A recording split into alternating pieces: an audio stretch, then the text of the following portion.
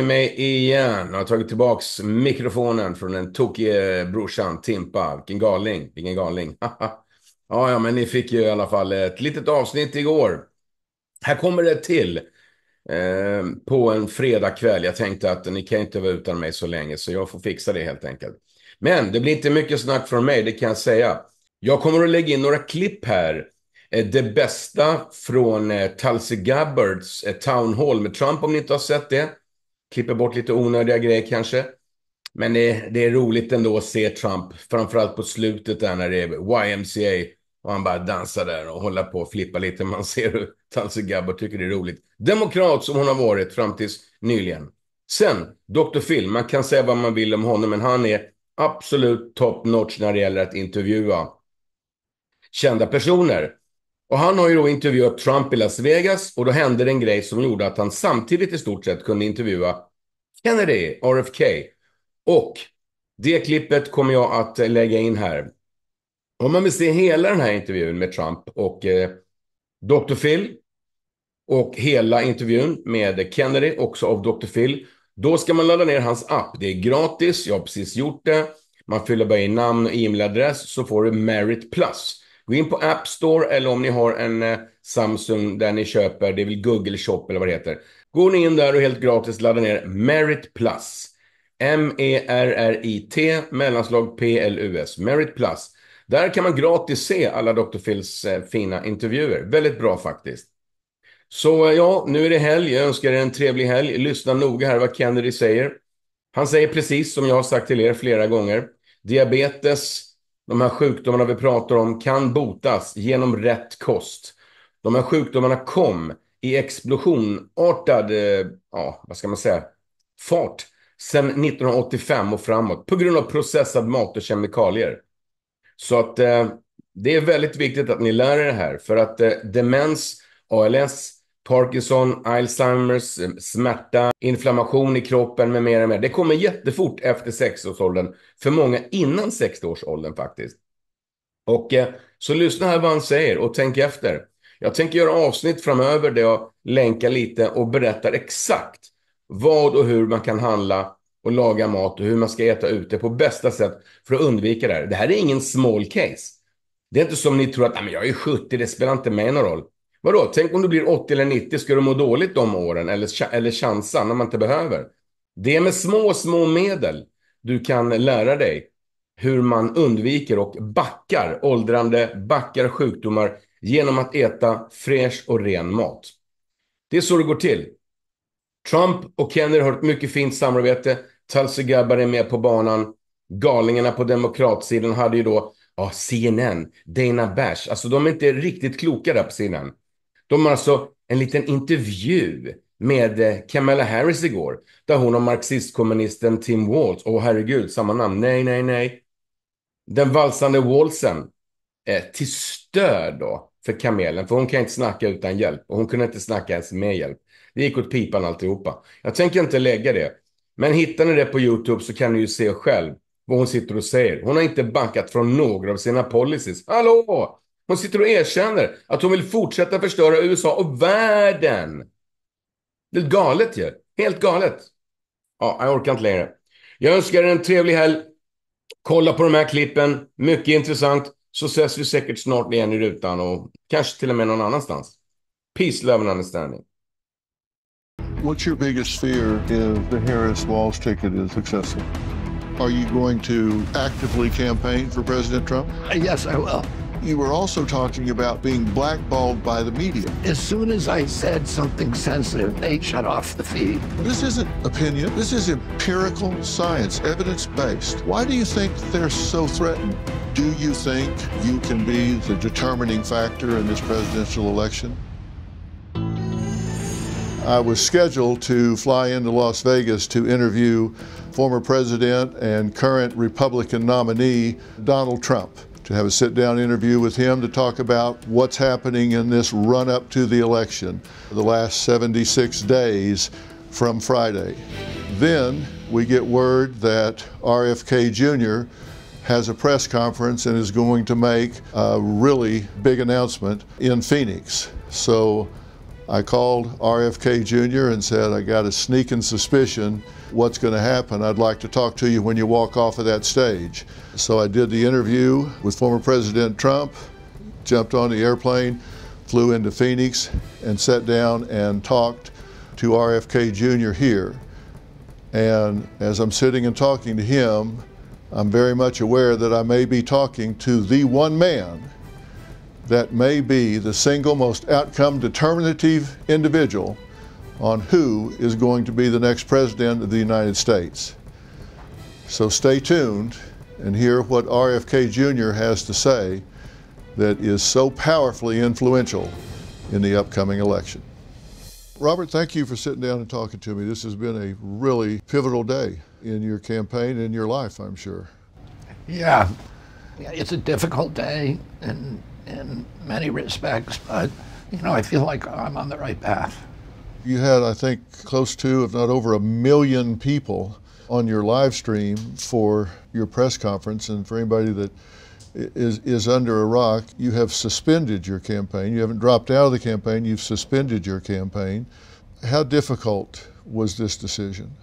It was difficult. I mean, all of us, the people, you know, kind of the inner circle who were involved in the decision. I think everybody in that circle went back, did 180 degree turns maybe 15 times in the last two weeks trying to figure out what we can do. But ultimately, it was clear to me that because of the media censorship, because I was not going to be allowed on a, a debating stage, that I didn't really have a path to victory. So my choice was, am I going to spend the next 77 days you know, rallying the troops and, and getting more money out of the donors without being able to offer them a path to victory. And I think that would have sucked my soul out. And then, I, you know, I had this interesting series of meetings with President Trump, in which he really surprised me by, by strongly endorsing the, the mission for his presidency, saying that he wanted his legacy to end the chronic disease epidemic in this country, and that's been my central mission for the past 20 years, is addressing that issue. What's happening to our kids? We have the sickest children in the world. You know, when I was a kid, about 6% of American children had chronic disease. Today, it's 60%. And these are in basically major categories like neurological illnesses, which is AS, ADD, ADHD, speech delay, language delay, tics, Tourette syndrome, narcolepsy, ASD, autism, autoimmune diseases like rheumatoid arthritis and juvenile diabetes, and then the allergic diseases like peanut allergies and food allergies and eczema. And all of these appeared in the mid 1980s oh, you know, I never saw anybody with any of these diseases when I was a kid. Well, I grew up in the 50s, and these weren't issues. They weren't issues. You didn't know anybody who had diabetes. You certainly did not know anybody who had autism. And now those, or peanut allergies. Or peanut allergies. In fact, Congress asked the EPA, tell us what year these epidemics began. EPA scientists came back and said it's a red line 1985 that, that gives us a hint about the culprits because we know it's not a genetic gen, a genetic injury. Genes don't cause epidemics. They may provide the vulnerability, but you need an environmental exposure, an environmental toxin.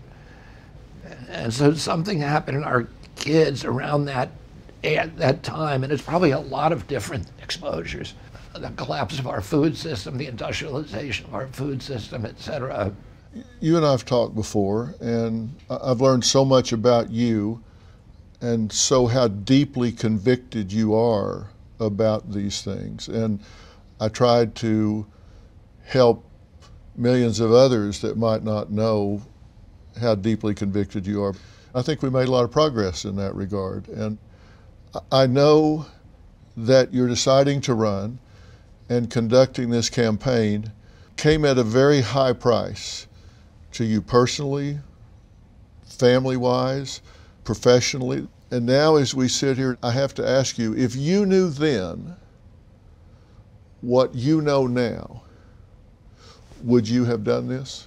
Yeah, I would have. I mean, I think it's been costly to me and it's been costly to my family, but I think I've advanced the issues in a way that is going to be helpful to people over the long run.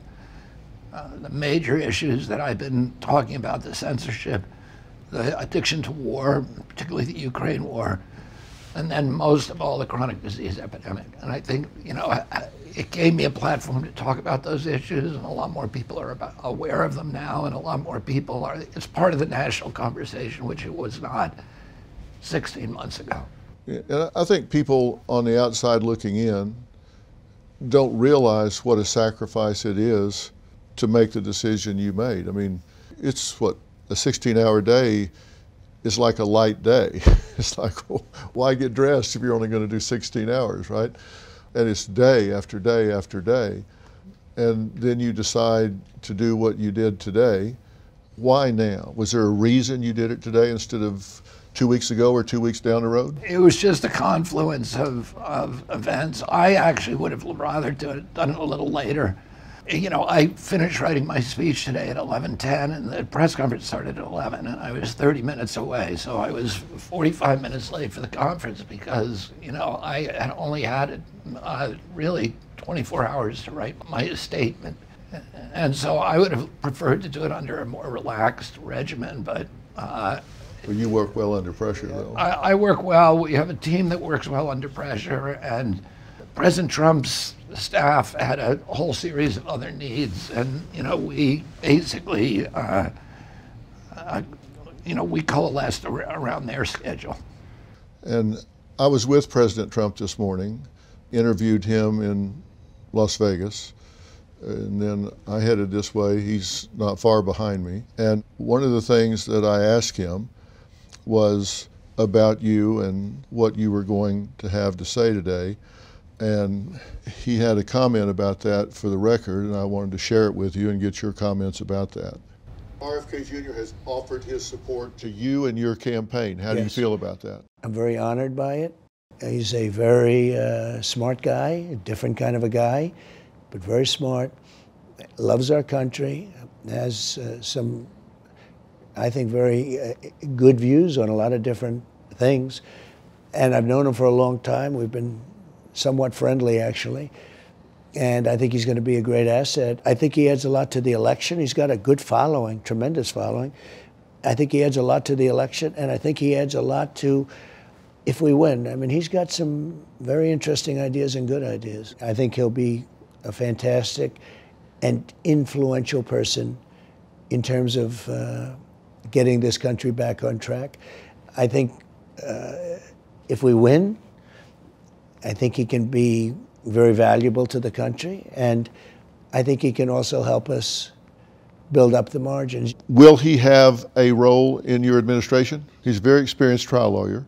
He is. He's, he's tried a lot of uh, large cases, so, and a lot of it environmental. So I thought, you know, he might play a role environmentally. He might play could a be. role as Attorney General. There's a lot of things he could offer to the administration. That's true. That's true. No, he's a very smart guy, and but you welcome him. Uh, I do. You I've welcome his support. Well, number one, I've known him a long time, right. and I've always had a good relationship. I mean, we're sort of on opposite sides of some issues, but I've always had a good relationship with him, and I'm very honored by his support. Well, I've I've spoken to him about you in the past, and he's always spoken of you with a great deal of respect. Even though you guys have been campaigning against each other, yeah. he's always spoken of you with a great deal of respect. What's your reaction to his comments? You know, I think he's accurate. I, we've known each other for a long time. In fact, I've litigated against him. I've sued him a couple of times on golf courses that uh, that he was building or he's trying to build up in the New York State reservoir watershed, and I was suing to keep them from being built. But even during that time when I was litigating against him, he ended up giving me a ride to Florida on his on his plane. So and we were friendly, and you know we had a great time and a lot of laughs. He's a very congenial, amiable, interesting guy, and very warm. Do you foresee pushing your agenda forward, maybe as part of that administration? Is that possibility? Yeah, I mean, we talked about that. We talked about his commitment to chronic disease. It's one of the things that brought us together. The, the a couple of hours after the assassination attempt, Phil, I got a call from Calley Means, who's kind of the leading advocate in the country against chronic disease and for against processed food, which is really poisoning our children. He's been advising me for a long time on and consulting with me. And he called me that night and he said that he was also advising President Trump on this issue, which made me happy that President Trump even, you know, knew about this issue. And he asked if I'd be willing to talk to President Trump, and I said yes. And President Trump then called me a little while later. Um, and then we ended up meeting with each other the following day and then doing a series of meetings. And a lot of that time we spent uh, talking about the Ukraine war, about uh, dismantling this addiction that we have to foreign wars, but also talking about the, the chronic disease epidemic. And you know, President Trump said that he wanted that as his legacy to, to solve it. So, uh, you know, I'll do anything that I can to make sure that happens. Having gotten to know you as I have, I have the feeling that you feel a sense of commitment to your supporters and to your donors and the things that they've supported and continued to. I can't imagine you telling them that that journey or fight is over. You're going to continue to push those issues. And part of the way to do that might be through the administration or it could be in other ways. But there's no way you're going to let up on the things that you've been espousing. I heard you in your press conference thanking them for their support and letting them know it's that's not over. You're continuing those same agendas, those same priorities. That's still important to you. Yeah, I mean, I, I'm going to use my own resources, my energies and talents, you know, as long as I can. This is to me the most important issue in our country today because we have the highest chronic disease burden of any country in the world, and it's destroying us. It's $4.3 trillion a year. It's costing our country five times the military budget. When my uncle was president, the medical expenditures on chronic disease were zero. Today, it's 95% of our healthcare expenditures. It's, it's sinking our country. And we're getting sicker and sicker. We're, we're paying twice what Europeans do for, for healthcare. We have the worst healthcare outcomes in the world. It's all because we're being mass poisoned by processed foods, by pesticides, by chemicals, by pharmaceutical drugs. And there's a series of industries that actually make money by keeping us sick. It's not just industries, but it's the med schools, the hospitals, the insurance companies you would think would want us healthy, but they actually make more money if we get sicker. And then, of course, the pharmaceutical companies, if you have a chronic disease, you're a lifetime patient. This drug, Ozempic, costs $1,500 uh, for, for a week and there, there's now a bill before Congress that would force the insurance companies, Medicare, to pay for it for every American who's obese. Well, that's 74% of our population. Right. That's going to be $3 trillion a year. And for a tiny fraction of that, you could give every American three meals a day of organic food, and diabetes would disappear overnight. You know, diabetes is treatable with food, right. with exercise, and obesity is. And, you know, what you talk about is empirically verified. This isn't just some theory that you hatch in your back room sometime. These things are factually based, they're empirical. And I think that's so important. It was important to me that whenever you were talking about this, you were also talking about being blackballed by the media because we had so many people that were not wanting to put you on the air ABC, NBC, CBS, all the major networks. And this has continued. Now, at Merit Street, we put you on, of course, and going to continue yeah. to put you on as long as we can lure you in there because we're talking about science. This isn't opinion. This is empirical science, evidence based. Why do you think they're so threatened? The television networks are very, very dependent on pharmaceutical advertising. I knew Roger Ailes very well. Roger Ailes was, of course, the founder of Fox News and the CEO of Fox News for many years. He and I were on opposite sides of the political spectrum, but we had this friendship that, that survived all that. He would always made sure that I could get on his platform to talk about environmental issues. So I was the only environmentalist who was going on Sean Hannity and Bill O'Reilly and Neil Cavuto for many, many years. And I, at one point, I made a film about the impacts of the relationship between mercury and this epidemic of neurological injuries and mercury in, in medical products. And I showed him the film, and he, he said, You know, I have a family member who I think was um, injured by this. And he said, This is a really important film. He said, I can't allow you onto my network for this because for the evening news division, about 70% of our revenues are coming from pharmaceutical companies. And he said to me at that time that typically um, there are 23 ads on a, a evening news segment show, and that 17 of those on average are pharmaceutical. Mm-hmm. He said if any of my hosts allowed you on TV, I'd have to fire them. And if I didn't, I would hear from Rupert, meaning Rupert Murdoch, within 10 minutes. Yeah. He was very clear to me about that. I've seen that evidence across the board with all of the networks. They're very, very sensitive to their advertisers. And those companies are advertising not just as a platform for selling product, but also because they can dictate content. They can make sure that you know who's ever on that news show is uh, is toeing the line. Well, we had Calley Means on my show, Dr. Phil Primetime, talking about the very things that you're focusing on here, and my audience was fascinated yeah. because there were things they had not heard before. Yeah. There were facts, information they had not heard. And that show, we put it on our, we have an app, Merit Plus, where you can watch those shows after the fact. And that show just continued to, its audience grew and grew and it continues to this day to grow based on the information that was given. Yeah. People were fascinated yeah, by what he he had to say. He's riveting. You're exactly right. And people don't know because the information is not being put out there.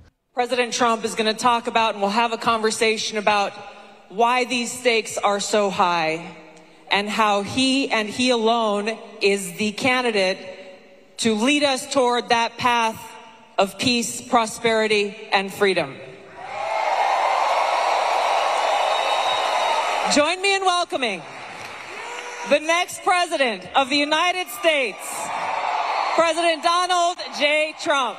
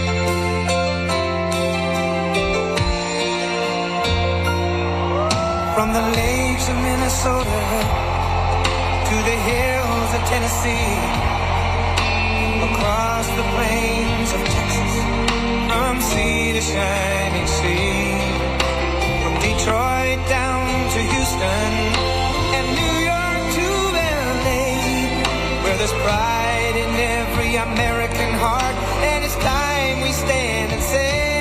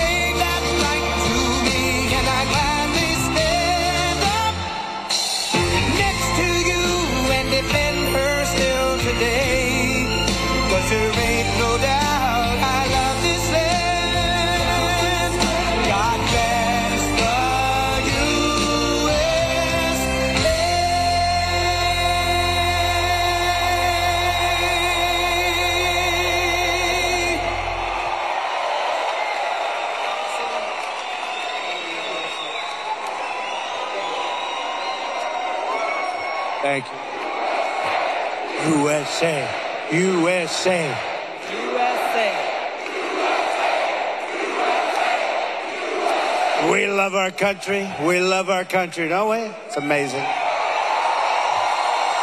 And it's a great country, but we have to take it back because our country's not feeling so well nowadays. And we're going to bring it back and we're going to make it healthy and beautiful and better than ever. And it's really, this is some crowd, and you can duplicate the crowd outside. So, if anybody would like to give up your seat, that would be okay. No, no. Let's have a good time. Thank you very much, everybody.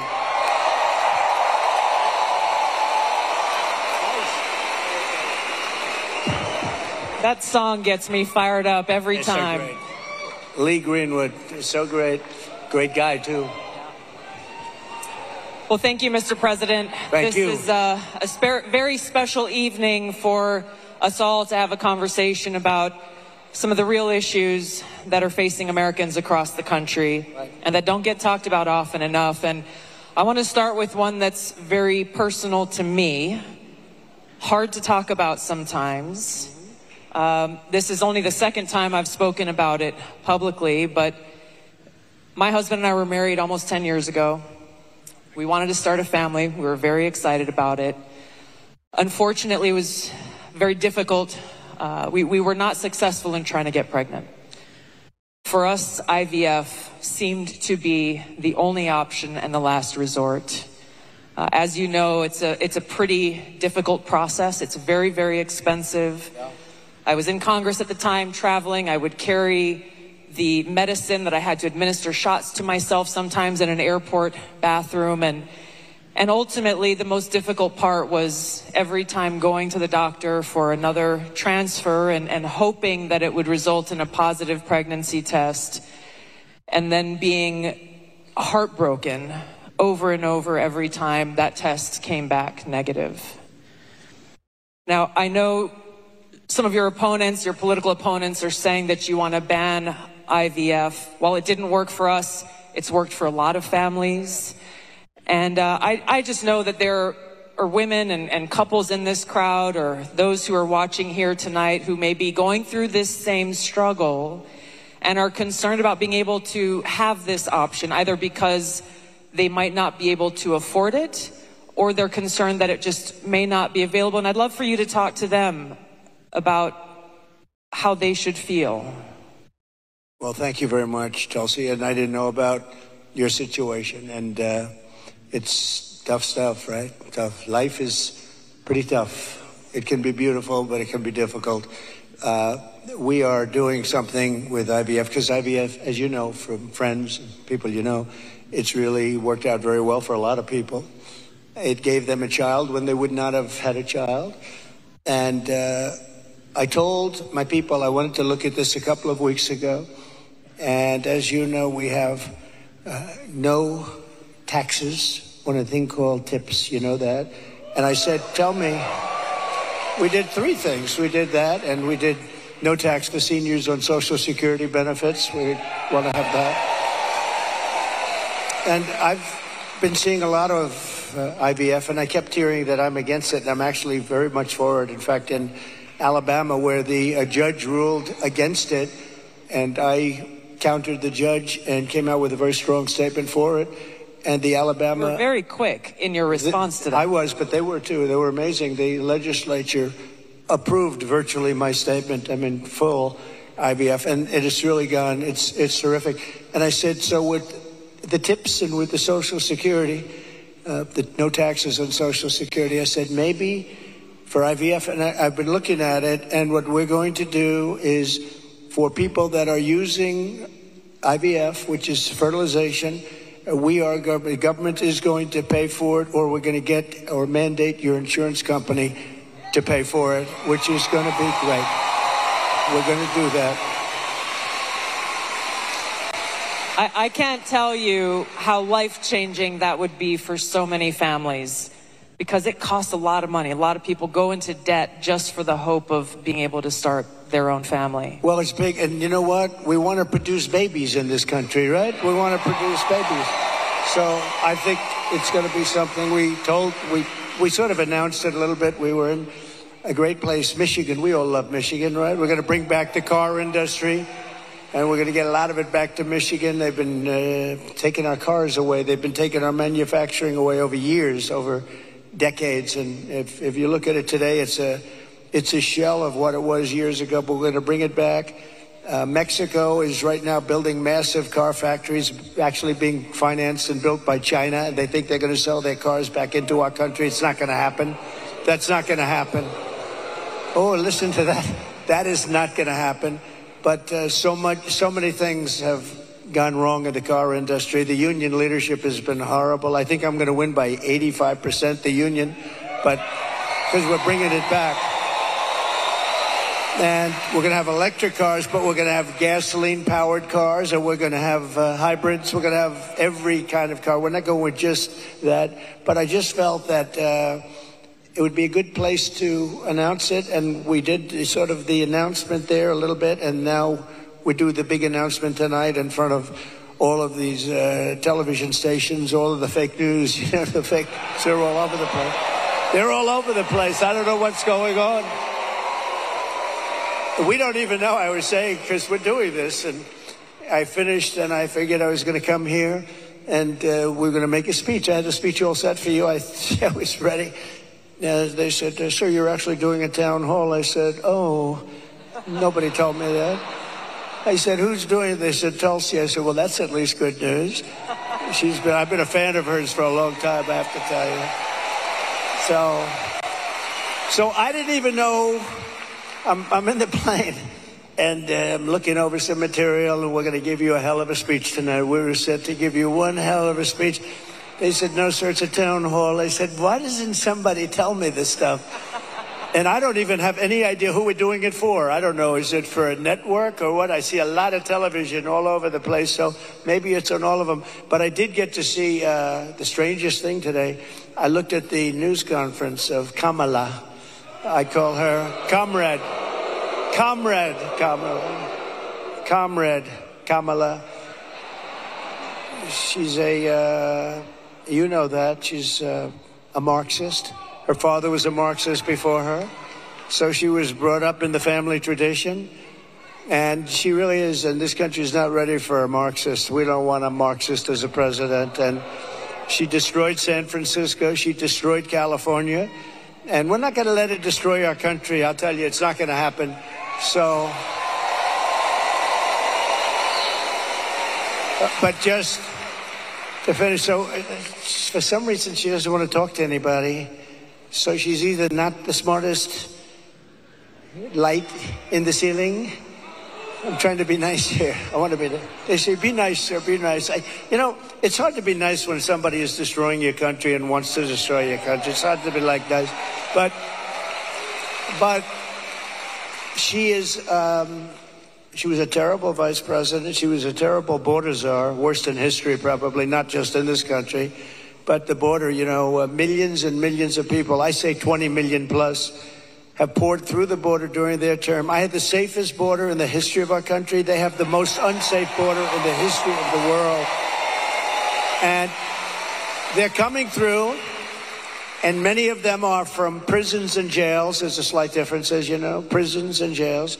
Many are from mental institutions and insane asylums, and many are terrorists, and they're pouring into our country at a level. I don't know if you saw the news today, Tulsi. They had a group of a lot of them, Venezuelan people with lots of machine guns, taking over a building someplace. I, I'm looking, I'm saying, where is that? They went in and they took over a building. This is just the beginning. They're taking their criminals from all over the world, not just South America, not just Venezuela, which you've been reading about, all over the world. They're taking their criminals and they're dumping them into the United States. Kamala, that's Kamala is allowing it to happen. And they actually want to, actually, they want to give them papers. They want to make them citizens and they want to give them your Social Security.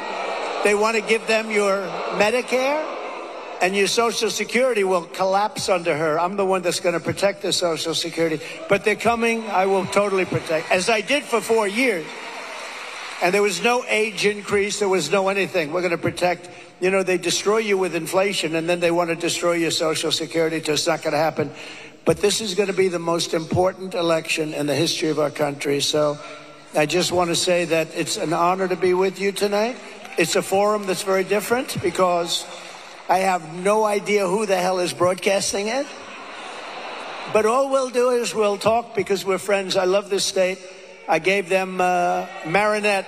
Uh, we we gave them a very big, you know, Tulsi. We have a, a ship contract, and as you know, we gave uh, Marinette yards, but we gave them a tremendous contract. They wanted it all over the country. I said we're going to get it for Wisconsin, and it's a big one, and they're doing a great job. I understand. So we got that, and uh, we're going to have a good time tonight.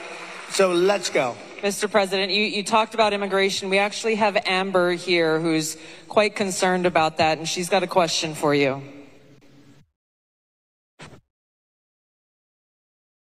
Mr. President, hello.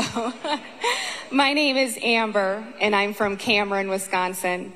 I have three beautiful children, and I'm torn on who to support. My youngest daughter is here tonight. My oldest son is 18 and he just started trade school this week. Very proud of him.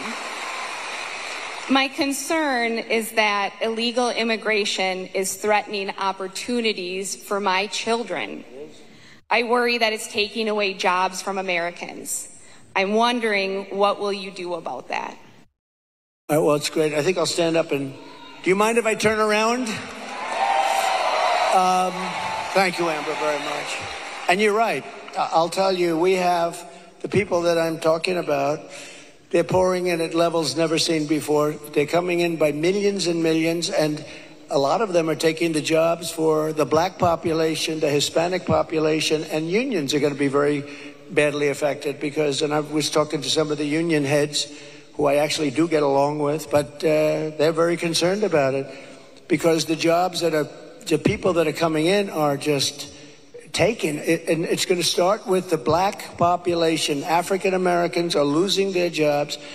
And I don't know if you heard the uh, latest statistic that of the jobs that these people created, which is very little, every single job was taken, about 107% was taken by illegal immigrants. There's been no job creation from them. The jobs were filled by illegal immigrants. With all of that being said, I want to give you a very positive answer. We're going to win this election. We're going to turn this country around. We're going to become an unbelievable growth country. And your boy is going to have the greatest job. And you, you want to have a lot of choice with jobs. You know, you want them to go up and they get up and they, uh, it's hard to believe I have that the way I get treated. But I look, I look forward to every day because we're going to make America great again. So I really do. I look forward to That's it. right. But but we're going to we're going to create a lot of jobs. We're going to create. Does he want to stay here, or does he want to go to a different state or anything? Yeah, someplace in the Midwest. But this is a good place to stay, right? Wisconsin. So we'll be creating tremendous jobs for our country, and we're also turning away. You know, we're going to be closing the border, really closing it. By the way, did you see? So Kamala was for defunding the police. She was for open borders. She was for everything that you're not against. I could go through 14 different. She's changed on every single one of them. In fact, I think we should make, see the man in the red hat and the beautiful woman in the red hat says, Make America Great Again. Perhaps we should give Kamala a Make America Great Again hat, right? But the problem is, that's not her belief. Her belief is open borders. Her belief, belief is uh, getting rid of Social Security. Her belief is doing all of these plans, like for health insurance, where you have one big government run mess. And if you have private plans, a lot of the people in this room have private plans. They're incredible plans. They worked hard to get those plans, and that's what they want. But with her, she wants to have, it's really a communist type of government. And I just saw her, Tulsi, on, she was sitting behind a desk doing this interview. And I said, Dana Bash, you could make yourself big tonight. All you have to do is be fair. I haven't seen the questions, but they gave out a sample. In fact, she's going to be on later on tonight uh, with a taped. It was a taped. We're doing it live. Why are we doing it live and she's doing it taped? But but That's right. He's real. but she was sitting behind that desk, this massive desk, and she didn't look like a leader to me, I'll be honest. I don't see her negotiating with President Xi of China. I don't see her with Kim Jong un like we did with Kim Jong un. So we're going to have to see what happens. I'll tell you what, November 5th is going to be the most important day in the history of this country.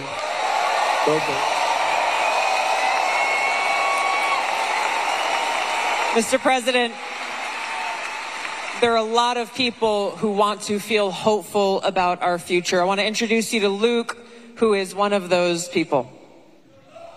Hi, Hello, Mr. President. good looking guy. Thank you. My name is Luke Pulaski, and I'm a junior here at the University of Wisconsin La Crosse. I'll be voting for the first time in November, and I'm researching each candidate. I have two questions for you.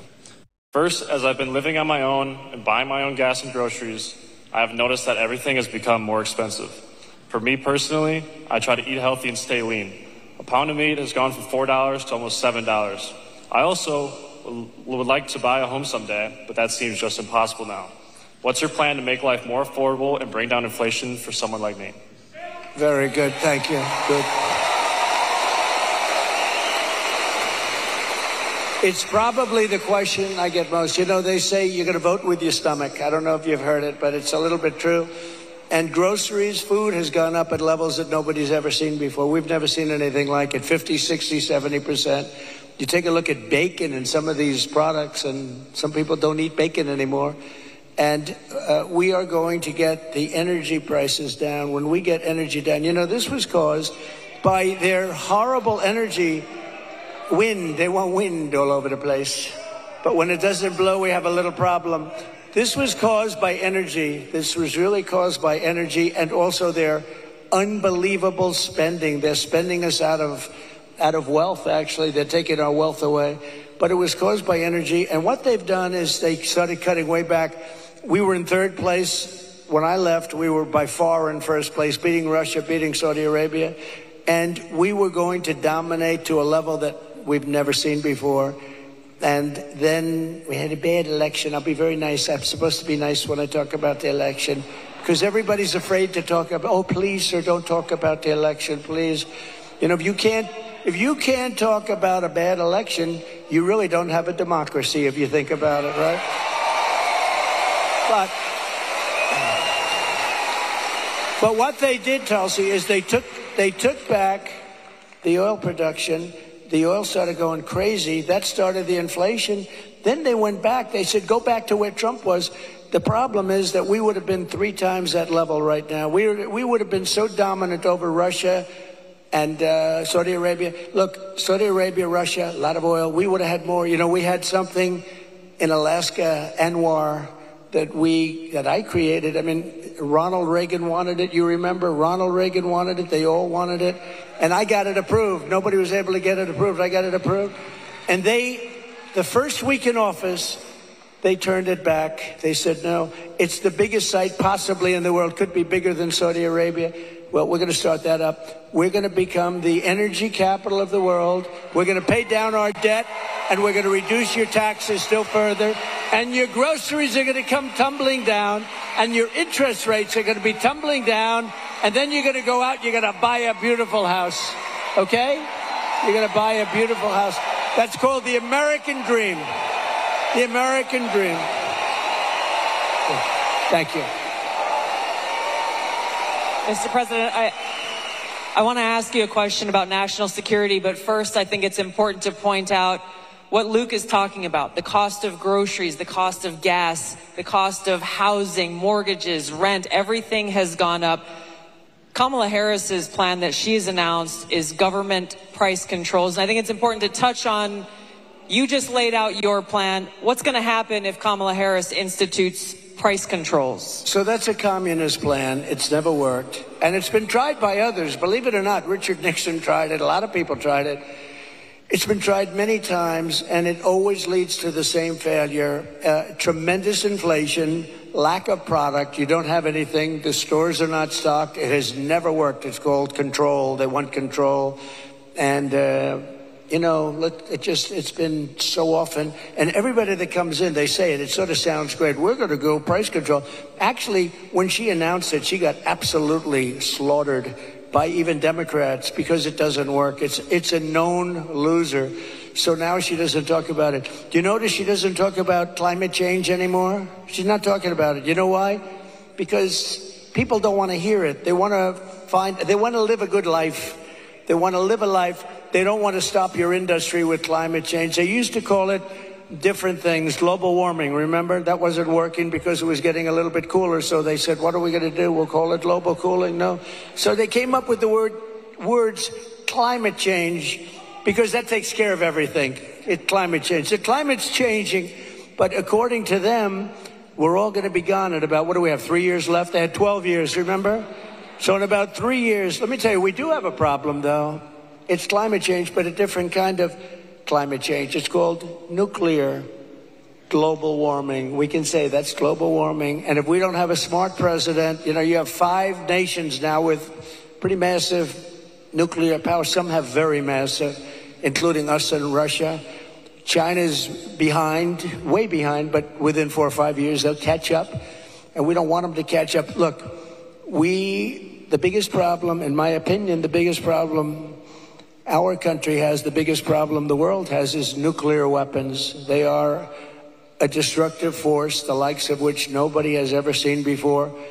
And we have to make sure they're never used. We have to make sure it's not going to happen. You're, you're exactly right. You brought up Ronald Reagan already. Ronald Reagan famously said, a nuclear war can never be won and should never be fought. And I think it's interesting you talked about climate change, Mr. President. The Democrats and Kamala Harris, they were quick to talk about how climate change is an existential threat. But what they're not talking about is the existential threat of nuclear war and World War III, which is exactly where we sit today because of the warmongers and their puppets, Joe Biden and Kamala Harris. And they don't want to talk about it because the, the consequence of where they have taken all of us as the American people and the world is economic hardship around the world, a destruction of our economic well-being, and an annihilation of humanity, our families, our kids, our communities around the world. There was a recent poll that uh, YouGov did that, that pointed out over 60% of Americans feel that World War III and nuclear war is going to happen within five to 10 years. And, and when I heard that, I, I felt so sad because they're at a point where they feel like this outcome, the annihilation of the world, is inevitable. So I, I wanted to ask you about this because it's important that people understand what kind of leadership you bring, what you will do to stop this slide towards nuclear war and World War III so that we can feel hopeful again. Well, thank you. So, Viktor Orban, a very strong leader from Hungary, Prime Minister of Hungary, they asked him recently about what's the problem in the world. A few years ago, during my time, we had no pro- we didn't have Israel being attacked. We didn't have Russia attacking Ukraine. And they asked him, why is it so bad now? The Middle East is on fire. Uh, so many places are on fire, and there are plenty uh, places that could very well and very quickly catch on. What's the problem? He said, you have to bring Trump back as president of the United States. You will have no problem. He single-handedly kept things, and it's true. And I could do it with telephone calls by being smart. But literally, he said, you have to bring Trump back. Now, he used a term I wouldn't use. He said everybody was afraid of Trump. You know who was afraid of Trump? They said China was afraid of Trump. Russia was afraid of Trump. They were all, and I don't want to say that. I will say this. They respected me and they respected our nation. They don't respect our nation anymore. They don't respect our nation anymore. Think of it. What would the world be like if Russia didn't do what they did and they would have never done it. I used to speak to Putin about it. I had a very good relationship. Uh, no chance. You know what happened, I think, uh, Afghanistan, when he saw the horrible leadership that we were displayed that we displayed in Afghanistan. I think he said, "Wow, this is a time to to go in." Because I wasn't there, he would have never done it if I was president, and Israel would have never been attacked. Think of it. What would this world be like? You wouldn't have had that disaster. And it wasn't leaving Afghanistan. And they should have kept Bagram. That's the big air base. It's one hour away from where China makes its nuclear weapons. They didn't keep it. You know who occupies it now, Tulsi? China occupies it. So we have, uh, if you have the right president, and we don't right now, right now, do we even have a president? He just came in, think of it. He just came in from wherever the hell he went. You know, there was a coup. He just doesn't know it yet. But there was a coup. How about that? He got 14. I- I'm not a fan of his. He was the worst president. But, but think of this. He got 14 million votes. She was the first one to leave, you know. Kamala was the first one to quit. She never made it to the first state in the primaries, which was Iowa. Never even came close. Other people did, but she never even came close. And all of a sudden, she was picked, and she's now running for president. And look, it just started, really. It just really started. The polls have us up here. We're up in this. We're up in states, but it's close. It's close. It's it's close, and you know they cheat like hell, so we don't want to have it too close. But we have because we have to get we have to win this. We're not going to have a country. But with him, I was so far up. We had a thing called. How did he do in the debate? Did you think he did well? Not too good. No, they he, they wanted to have a debate. I said, okay, it's a little bit early, isn't it? I was like, I was trying to talk them out. I said, well, it's a little early for a debate, right? And they said, well, well, I think we'd like to do it. And that was not a good debate for them. That was not a good debate. So that was the beginning of the end for him. And they started looking. But they picked a woman that had absolutely no votes. She got no votes. And now she's running. So when you say threat to democracy, they are a threat to democracy. I'm not a threat to democracy. I'm not a threat. Thank you. Mr. President, crime and the rise of crime is, is on the minds of a lot of people. I want to call on Danielle here, um, who has a question for you. Hi, Daniel.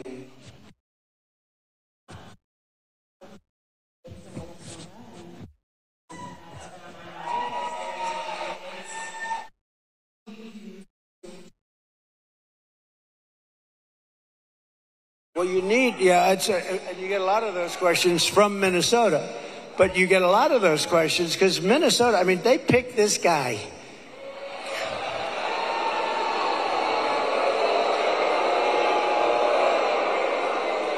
He is weird. Right? He's weird. I'm not weird. He's weird.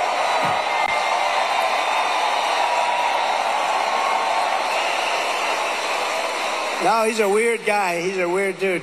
You know, see, they come up with sound bites. Every, they always have sound bites.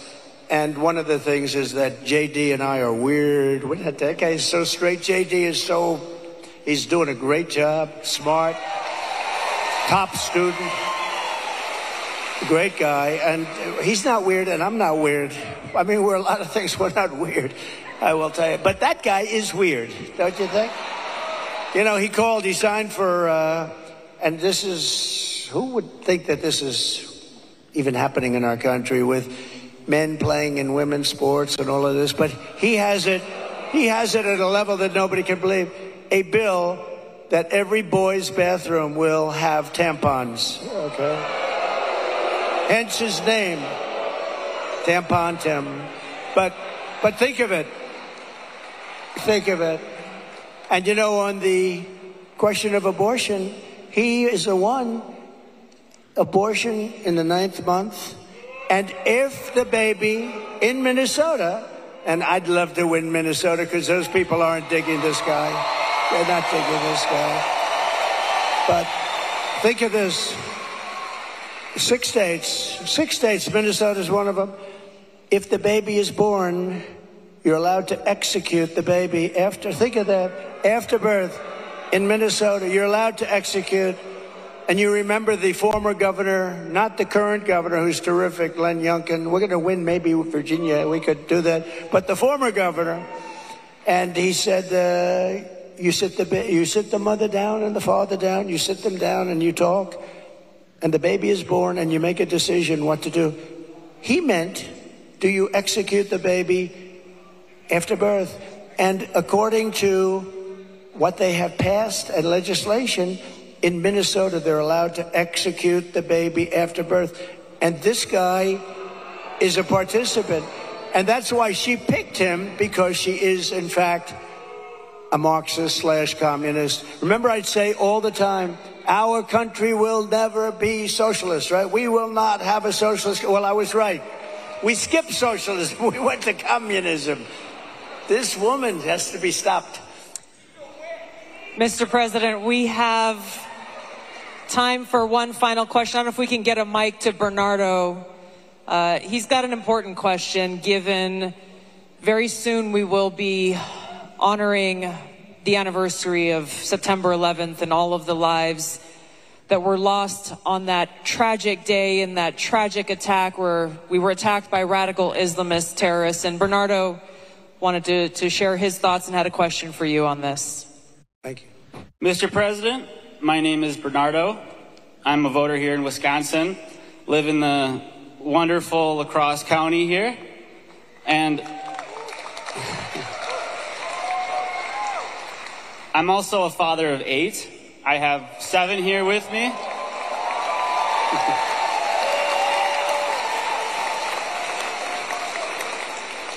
and uh, it's the anniversary of 9 11 is coming up. I'm concerned that we're more vulnerable now than ever.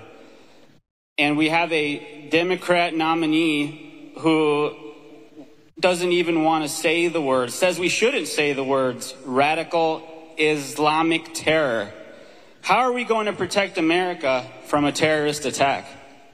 Uh, first of all, it's a great question. And you know, we have radical Islamists pouring into our country along with everybody else right now. They're coming in at levels that nobody's ever seen before. We kept them out. We had one year where Border Patrol put down, it was, I believe, 2019, where they, and I don't believe this, I don't believe it's right, but uh, I'll take it. They said zero came in in 20, that was my term, zero. Now we have thousands. I'd like to say that was true. It's probably not because I can't imagine that. But we, we were very tough on that. Now they have thousands and thousands coming in, along with the prisoners and along with the crime. And remember, a lot of these countries like Venezuela, their crime is way down because they've moved their criminals into our country. It's not even believable. But your question on Islamists and all of the jihad and all of the things that they talk about, they have to respect your country. They have to respect your leader. You know, I had no radical Islam crime for four years, and I didn't want to talk about it. I wanted to, I, I talked about it after, but I didn't want to talk about it during. I don't want to say, like, I had absolutely, and the next day you get hit. But we had none, four years of it, because they respected your president, they respected your country, and they have to, we have to bring back that level of respect, and we're going to do it. We're going to do it. And we're not letting the wrong people into our country. Okay, thank you very much. Great question.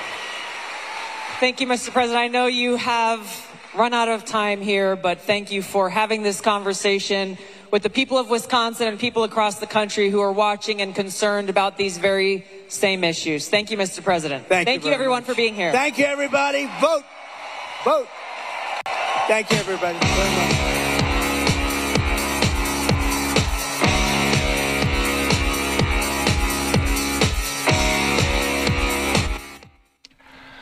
All right, there you have it. Former President Trump uh, in this panel discussion moderated by Tulsi Gabbard there, taking questions uh, from the audience, questions about the issue of illegal immigration, also about uh, foreign policy. That last question about some Americans' concerns that uh, the U.S. is vulnerable to another attack in the same vein as the 9 11 terror attacks as we approach the 23rd anniversary of 9 11 there. So, uh, speaking in La Crosse, Wisconsin, you know, this wasn't his normal campaign rally style format. It was a sit down panel, took a few questions uh, from some undecided voters, but these are most of his supporters here, there in La Crosse, Wisconsin. So, he also got a question on economy and inflation about the very high cost of food when Americans go to the grocery store. So, uh, like we have been throughout this cycle, you have been watching so many of these speeches and events from the candidates Trump and Vance and Harris and Walz, of course, in just about 10 minutes' time.